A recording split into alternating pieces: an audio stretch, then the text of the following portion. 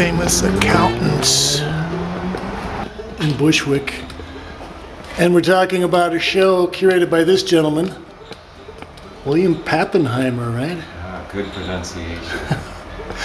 Tell us about the show. The show is titled Tunneling, and you cre- curated the show. I did. Why don't you uh, give us a brief uh, tour and maybe some of the highlights? Okay, you got it. Well, the show kind of started from probably from my past experience, um, which you know kind of talks to the kind of psychedelic era of the '60s, but it uh, expands outwards from, say, something like you know a hallucinogenic experience to all kinds of tunnels, the underground, the myopic tunnel in terms of tunneling, the psychic tunnel, if you will. Um, so what I did is, um, knowing a group of artists and searching around for a group of artists, I um, picked out ones that I felt expanded that those concepts in different directions. Um, what could I show you to start with? Well, let's look at the piece of the stretched out Ryder. I was uh, I was intrigued with this piece. Yes.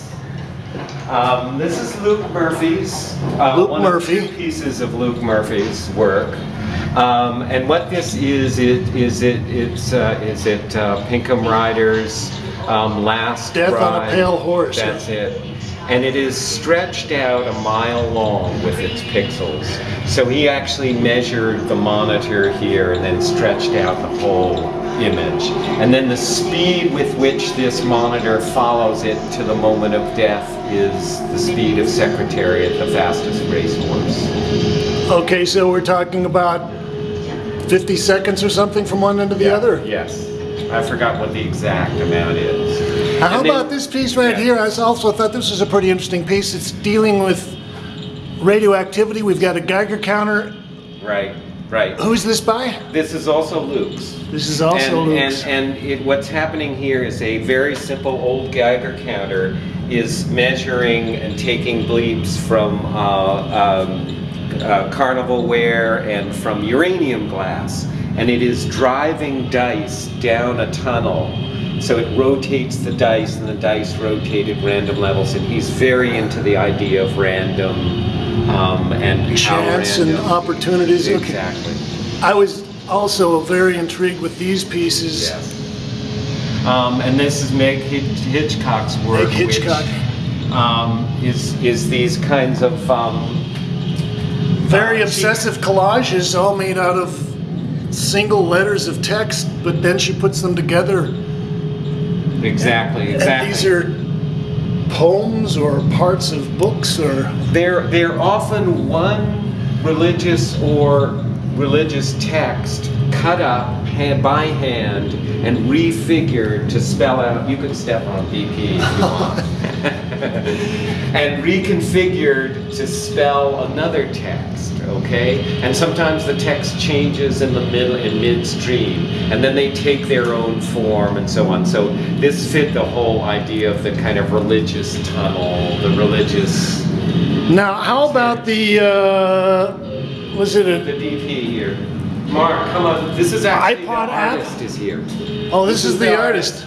This is Mark uh, Spark. All right, Mark, get over here, do your stuff. We got to Okay. see the app. You come here. This I've got to come here. Okay. We've got augmented reality. Basically, we're doing um, logo hacking. Um, so what you're seeing, Logo packing. or hacking, hacking. Oh, hacking. Okay. So basically, we're using a corporate icon um, to generate uh, the leak that you would see.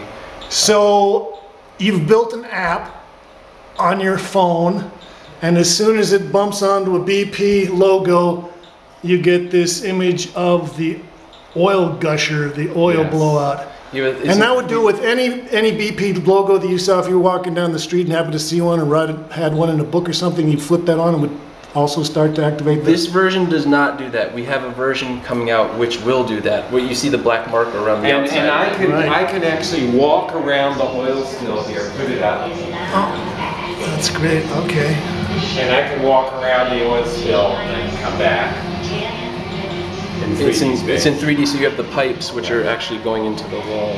All right. Very cool. This is Cooper Halowski's work, um, who does um, a series of videos here, and you can't hear the text here, but the text is this almost this religious figure, sort of predicting the way things will be, the way things will end. It's it's kind of actually morose.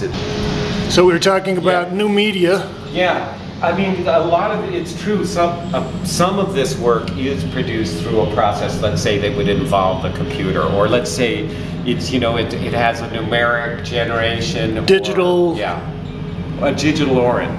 Origin, and but what I wanted to do in this exhibition was to have you cross media, if you will, um, and show how it's got its relationships to any media, to traditional media. But there's also an aspect of the, the way that the computer kind of repeats patterns and a sort of obsessive personality qualities of some of the work.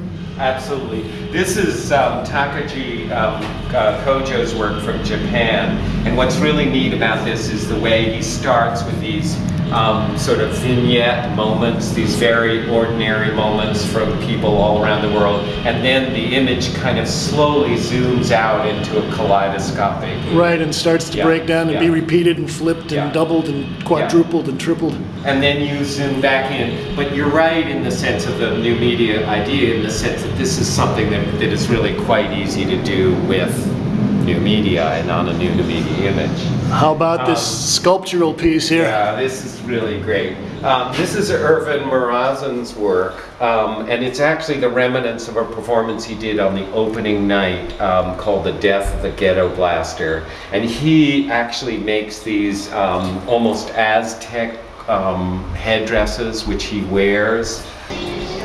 How about these uh, cut paper? I assume this is, or is this plastic? Yes.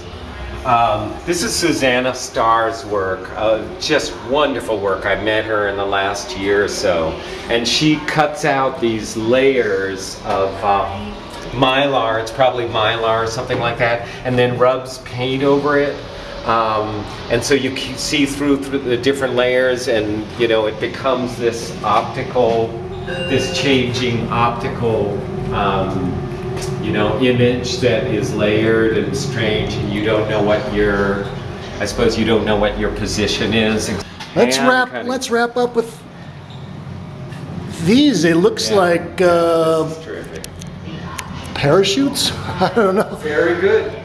Very good. Um, this is Jen uh, Schwarting's work, um, and she's done this kind of series, which she told me was inspired by parachutes, and in fact by parachutes, the idea of parachuting around 9, 911, parachuting off buildings. Ah. And she talks a little bit about safety nets, um, parachutes being safety nets. So it, you know, it functions as an abstraction and then and an optical image here at the same time as it functions as some kind of um, reference to, you know, how you would be stay safe or, you know, and she even relates it to, to companies and their promotions for healthcare and so on. Okay. Well, Wonderful. thanks, William You're welcome. Pappenheimer, curator of tunneling here at Famous Accountants out in Bushwick. Thank you. You got it. And- Tunnel. Thanks, Kate.